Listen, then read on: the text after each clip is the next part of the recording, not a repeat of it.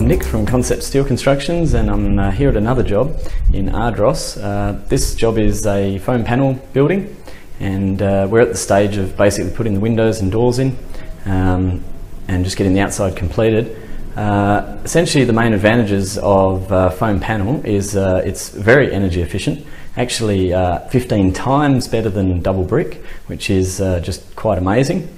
Um, it's uh, basically less wasted floor area as well. You've got uh, double brick is 230 mil and uh, foam panel is only 100 mil.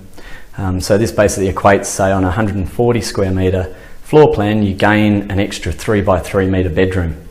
Um, that, is, that is just literally for the wall taking up more room um, as you measure it around the perimeter.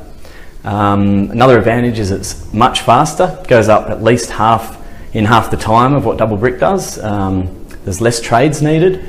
Carpenters uh, basically put the whole job up. You don't need gyprockers, flushers, plasterers, renderers, uh, all those sorts of things. Um, and also in winter, there's no damage uh, for the rain because basically uh, this product is rated to go outside. It's just Colorbond essentially and, and polystyrene, and uh, it doesn't uh, have any problem uh, with water going on it. Same with washing the walls off. It's easy to wash off if you've got your little two-year-old that's decided to draw all over the walls. You can just wash it off straight off the walls. Um, we're doing this foam panel basically as a cheaper version as it is, uh, which is just where the joins are still visible.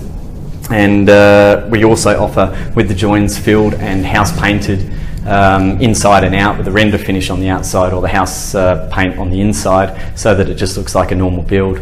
Um, yeah, that, that's basically it. There is a heap of uh, advantages uh, to this product.